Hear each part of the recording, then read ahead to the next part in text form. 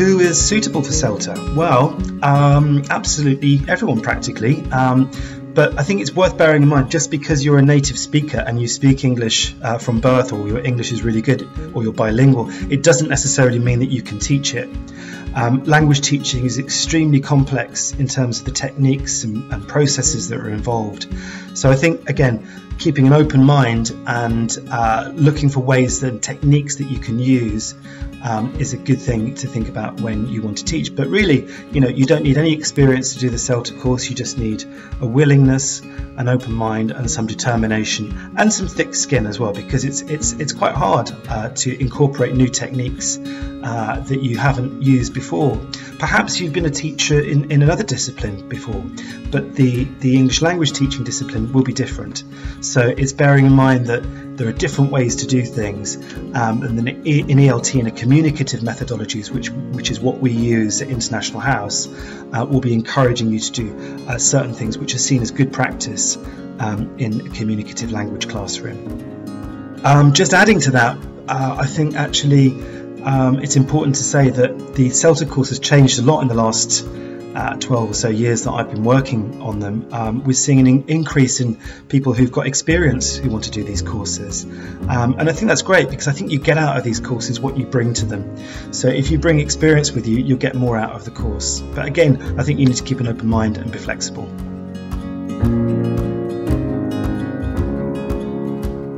Be worth having a look at some some lessons online. So having a look on YouTube and and seeing uh, some some lessons that are out there and seeing teachers uh, actually doing some teaching. I think uh, the biggest tip is to keep an open mind. Um, I think the people that, that find CELTA difficult are those that come with a very fixed, rigid idea about the way that they learn and they don't consider the way that other people learn. Um, so keeping an open mind, I think, is probably the most important thing. And realizing that when you come on a course like this, your trainers have been through the process of training people for a long time um, and have got your best interests at heart. So listen to the feedback and uh, let it guide you in order to develop as a teacher. I think that's the, the, the first tip, the best tip.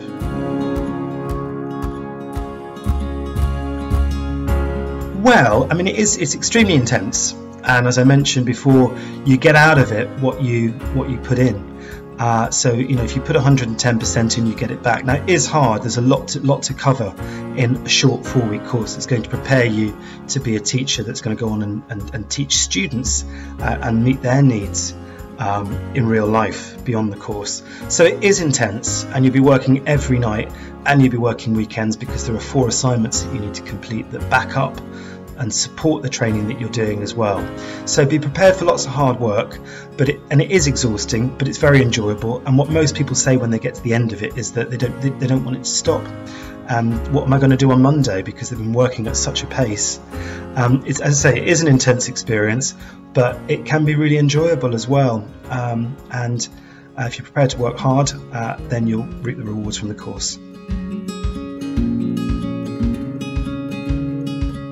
Well, it's difficult to say because I've trained hundreds and hundreds of people and um, over my years of, of teacher training.